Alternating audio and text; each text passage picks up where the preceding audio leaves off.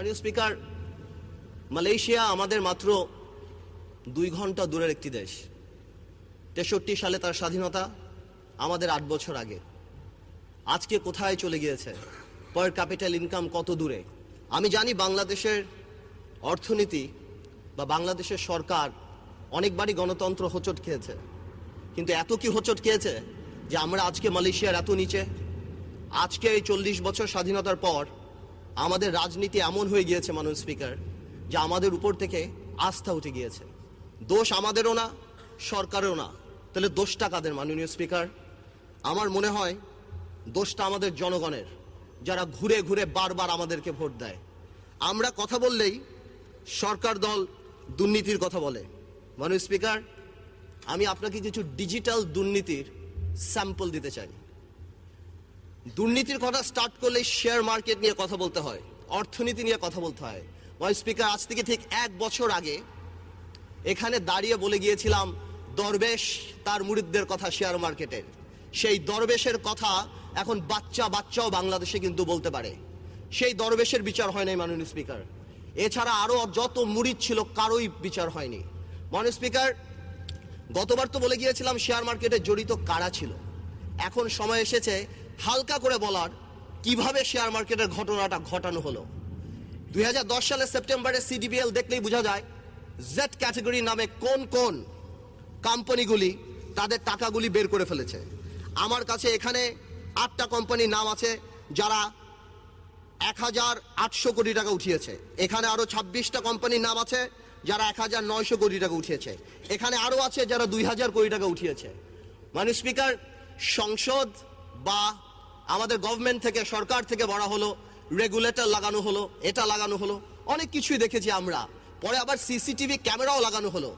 এই টিভি ক্যামেরাগুলি যদি এই কালপিটদের বাড়ির সামনে লাগানো হতো, তাহলে দেখা যেত এই টাকাগুলি কোথায় গিয়েছে মাননীয় স্পিকার মাননীয় স্পিকার একটা ইনভেস্টিগেশন কমিটি করা হলো, সেটা রিপোর্ট দেওয়া হলো। অর্থমন্ত্রী সুন্দর করে বললেন these are mafia we cannot speak what a disgrace for the country যা আমাদের অর্থমন্ত্রী বলে যে দিজ আর মাফিয়া শেয়ার মার্কেটের আরও কিছু ঘটনা আপনাকে বলতে চাই। কয়েকদিন আগে পেপারে দেখলাম, আমাদের বাংলাদেশ ব্যাংকের গভর্নর কি নাম? ডক্টর আতিয়া তাকে ইন্দিরা গান্ধী অ্যাওয়ার্ড দেওয়া হচ্ছে। তাকে তো ধ্বংসাত্মক অ্যাওয়ার্ড দেওয়া উচিত শেয়ার মার্কেট ধ্বংস করার জন্য। যখন তিনি দেখলেন, যখন তিনি দেখলেন যে forty percent to thirty percent investment bank করে ফেলেছে তিনি যে বুঝালেন, আগে থেকে অর্থমন্ত্রী যিনি অনরিপিটেড ফ্যাশন আগেও বলেছে, আমি শেয়ার মার্কেট বুঝি না। তাদেরকে নিয়ে শুধুমাত্র ওয়ার্ল্ড ব্যাংক আর আইএমএফ কে খুশি করার জন্য, চাকরির শেষে ভবিষ্যতে অন্য চাকরি পাওয়ার জন্য কি বলা হলো? Bank must withdraw the money মানে স্পিকার দুইশো কিলোমিটার স্পিডের একটা গাড়ি, যদি আপনি হঠাৎ ব্রেক করেন, তাহলে কি হবে? যাত্রীরা নিহত হবে। এই বাংলাদেশের ব্যাংকের কিছু ব্যবসায়িক শকুনরা আর তাদের আশেপাশের কিছু ব্যবসায়ীরা এই শেয়ার মার্কেট থেকে টাকাটা নিয়ে আরম্ভ করল। আমার শেয়ার মার্কেটটা ভেঙে চূর্ণ বিচ্ছিন্ন হয়ে গেল। বাংলাদেশের মিডল ক্লাস ফ্যামিলি ধ্বংস হয়ে গেল, মাননীয় স্পিকার মাননীয় প্রধানমন্ত্রী উদ্যোগ নিলেন। এই দরবেশকেই আবার সেই সিটে বসালেন। আমার মনে আছে আমি ছিলাম না সংসদে, তবে সুরঞ্জিত সুন- গুপ্ত সাহেব বলেছিলেন, কি জানি ভূত শস্যের মধ্যে ভূত থাকা। দরবেশও কিছু করতে পারল না। বিভিন্ন ব্যাংকের সাথে কথা বললেন। বলল নাকি কিছু টাকা দিবে। কোনো প্রাইভেট ব্যাংকের মালিক একটা টাকাও দিল না এই শেয়ার মার্কেটে মাননীয় স্পিকার এমনও দেখা গিয়েছে, অনেক ব্যাংকের মালিকরা তারা ডাইরেক্ট ব্রোকারেজ হাউজে এই টাকাটা নিয়ে গিয়েছে। এটা বাংলাদেশের সবচেয়ে বড় করাপশন এই ইতিহাস হয়ে থাকবে। আমি একটা কথা বলতে চাই, সরকারের উচিত কোনো আইন পাশ করে রেট্রোস্পেক্টিভ এফেক্ট দিয়ে এই শেয়ার মার্কেটের কালপিটদের বিচার করা, অথবা এমন কোনো আইন করা যাতে আগামীতে শেয়ার মার্কেটে কেউ কোনো ধরনের এই ধরনের ফাঁস না করতে পারে। মানুষ স্পিকার, এক কোটি লোক রাস্তা এফেক্টেড বাংলাদেশের মানুষের কাছে এই হাতে গোনা কয়টা টাকাই তো তাদের সোশ্যাল ইম্প্যাক্ট তাদের সোশ্যাল রেসপেক্ট যার, যাদেরকে আপনি দেখেন মাননীয় স্পিকার, রাস্তায় দাঁড়িয়ে শেয়ার মার্কেটের জন্য চিল্লাচিল্লি করছে, তারা কিন্তু সর্বস্ব হারিয়েছে। আরও অনেক লোক আছে, আরও অনেক মা বোনের আছে, আরও অনেক মিশনে আমার আর্মি অফিসাররা আছে, আরও অনেক পুলিশের কর্মচারী আছে, সরকারি কর্মচারী আছে, যারা রাস্তায় লজ্জায় বের হতে পারে না। আরেকটা ঘটনা বলতে হয়। বিদ্যুৎ। এই সরকার ক্ষমতা আসার পর অফকোর্স তাদের নির্বাচনী ম্যানিফেস্টো ছিল, অনেক বিদ্যুৎ দিবে। আই এম শিওর আমি থ্যাংক আমি I want to personally thank যে আমরা অনেক এফর্ট কাগজপত্রে দেখেছি। কিন্তু প্রথম এক বছর নাড়া চাড়া করে কিছুই কিন্তু করতে পারে না এই সরকার। এই সরকার তাদের পছন্দ মতো কিছু লোককে বিদ্যুৎ প্ল্যান দিতে গিয়ে অনেক ভালো ভালো কোস্টাল সাবা থেকে আরম্ভ করে অনেক কোম্পানিকে বিদ্যুৎ দেয় নাই। একটা কৃত্রিম প্রবলেম এই দেশে বিদ্যুতের দাঁড়িয়েছে কিন্তু। তারপর ইন্ডেমনিটি পাশ করে কি করা হলো? আনসলিটেড আনসলিসিটেড বিদ্যুৎ প্ল্যান দেওয়া হবে। তারপর আরম্ভ হলো ফার্নিচার কোম্পানি অটোবি চানাচুর কোম্পানি এই কোম্পানি সেই কোম্পানি কুইক রেন্টাল দেওয়া। কুইক রেন্টাল দিয়ে দেশটাকে কুইক ডিস্ট্রয় করে দেওয়া হচ্ছে। টোয়েন্টি থাউজেন্ড ক্রোড টাকা, মাননীয় স্পিকার আমাদের তোফাইল আহমেদ সব সেদিন বলেছে। আমি জবাব দিচ্ছি, বিদ্যুৎটা গেল কোথায়? বিদ্যুৎ আসবে না, মাননীয় স্পিকার বা আমাদের চাহিদা মতো আসবে না। কারণ চায়নাতে কোনো ভাঙ্গা মেশিন আর নাই। সব বাংলাদেশের বিদ্যুৎ প্ল্যান্টে লেগে গিয়েছে। এই ধরনের কোম্পানিটা এনে সব লাগিয়ে দিয়েছে। টোয়েন্টি থাউজেন্ড করোড় টাকা আমরা ভর্তুকি দিয়ে, মাননীয় স্পিকার এই টাকা দিয়ে আমরা ঘোড়াশালকে ঠিক করতে পারতাম না। তারপর এক বছর লাগা গেল। বেস প্ল্যান করার জন্য। কি বেস প্ল্যান টেন্ডার হবে। খেলবে কে? মাননীয় স্পিকার খেলবে আমাদের বিদ্যুতের ম্যারাডোনা।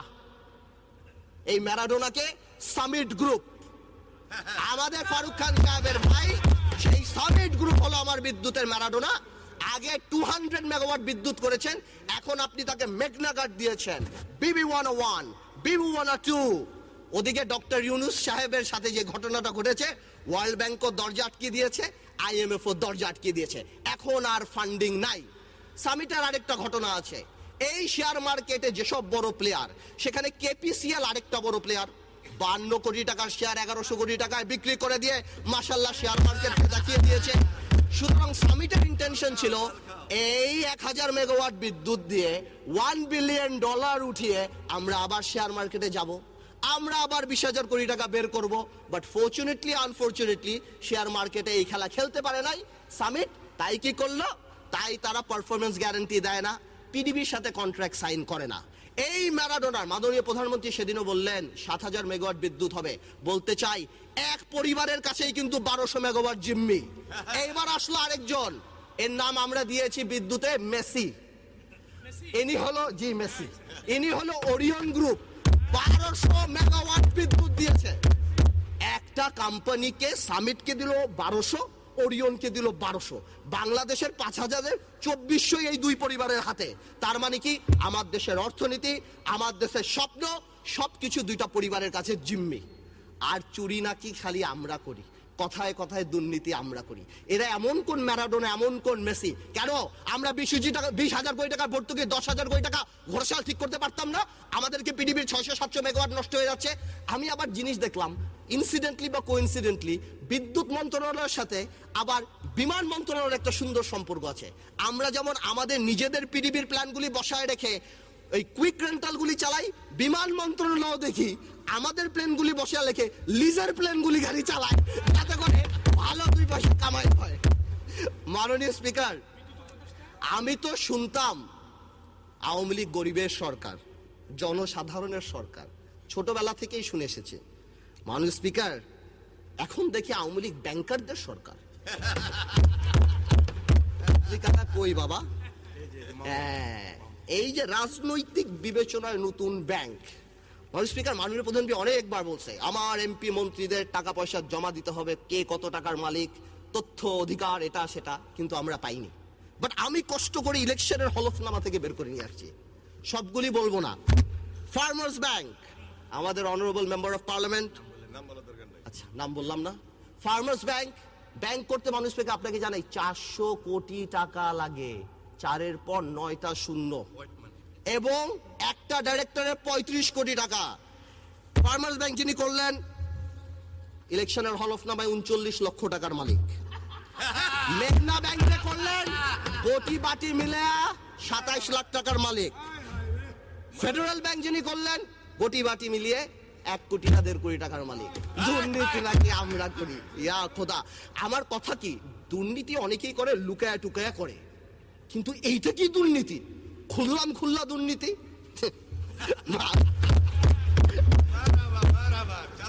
মাননীয় স্পিকার পররাষ্ট্র মন্ত্রণালয় নিয়ে কিছু কথা বলি।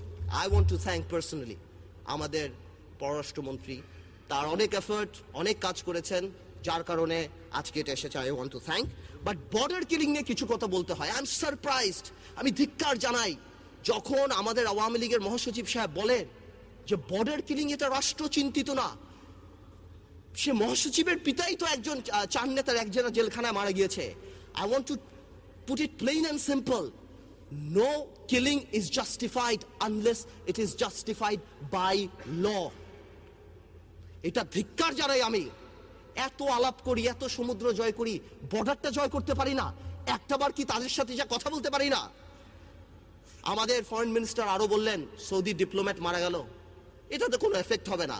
সৌদি ডিপ্লোম্যাটও তো ইন্টেলিজেন্ট না, মাননীয় স্পিকার ওই তারিক আর খালাস বলে বিশ লক্ষ বাঙালি পাঠিয়ে দিবে, তখন কিন্তু আমাদের রাস্তায় পড়তে হবে। আমাদের উচিত মার্কেটে রিউমার, আমাদের ফরেন মিনিস্টার নাকি সৌদি আরবের ভিসা পায় না। আমাদের উচিত শিশু টেক এনাফ এফার্ট সৌদি আরবের যে এই জিনিসটা সমাধান করা হোক।